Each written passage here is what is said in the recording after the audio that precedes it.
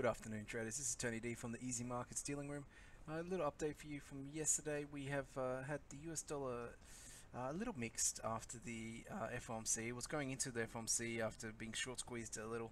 Uh, you can see on the euro uh, was attempting to get back above the the 120 level, uh, but then you know obviously there was enough in the FOMC statement there, especially regarding the removal of concerns about inflation to get the market uh, more focused on rate hikes coming forward. Uh, little there actually in terms of the, the scope of things uh, to to get the market to move either way, uh, but steady as she goes, and the US dollar weakness was bought uh, on the euro, on the pound, uh, and on the dollar yen as well. look, we haven't had too much follow through either way, so it is a little bit more stable today. you did see a rally sharply on the Aussie dollar back above 75 after really nice uh, uh, trade balance data and uh, building approvals here.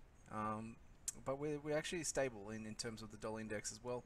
The, the market hasn't really decided to kick on just yet.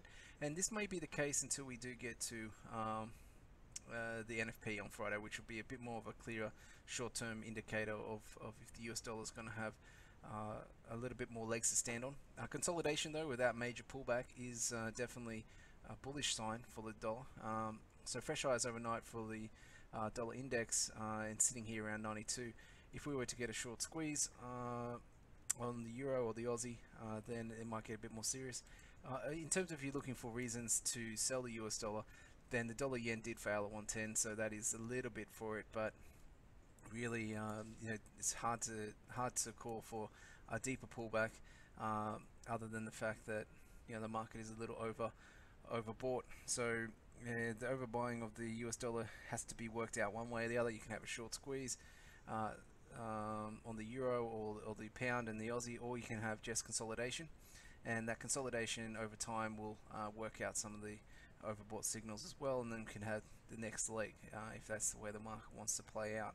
So uh, those looking for a bit of a bigger short squeeze, uh, we do need a catalyst, and that catalyst uh, isn't there at the moment.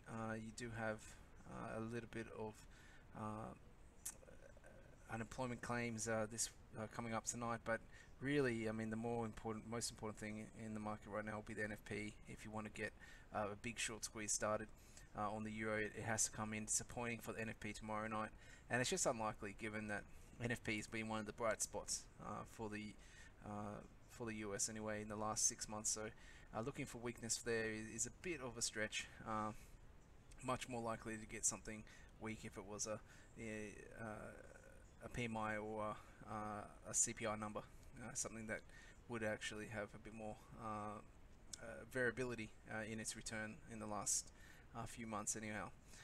so looking for US dollar strength in general, um, it'd be nice to get a, a, better level to get involved, but the trend is pretty clear at the moment. and the last big level that hasn't broken clearly is only the dollar yen. So if dollar yen back, if it was to get above 110 today, uh, that would lead uh, to further gains for the US dollar against everything. Uh, the pound is probably the most troubled of all the majors.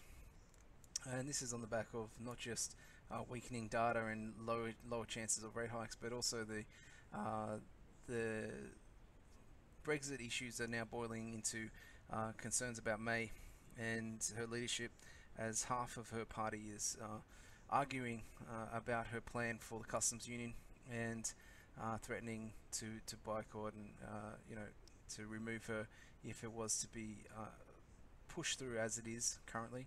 Um, now there's still a lot of negotiations on and a lot of it is uh, uh, newspaper leaks and, and, such. So we haven't got really a clear understanding if this is getting more serious just yet. But it's definitely enough to, to put that dampener on any rally. And so some nice data yesterday did get a squeeze here in the uh, pound uh, but then the the issues with uh, May which just provided another opportunity to uh, sell the uh, sell the pound on the rally. So nothing damaged here in the downtrend and still looking for bigger levels on the downside. And you have to go back way back in time to find those bigger levels. Um, and we're looking at the previous breakout level as the first big support. And that was coming in around about 133 uh, 132.50 and that's um, also coincides with uh, where the US dollar index would probably be getting resistance as well Alright guys, uh, best of luck with your trades if you're involved today. Uh, if you do want to have a, a, deeper chat about some of the crosses, uh, come through on the contact numbers below. Uh, if you don't have access to the dealing room, uh, please sign up on the link below and uh, you'll be assigned a dealer like myself to help you um, once you open up a dealing room account. Cheers.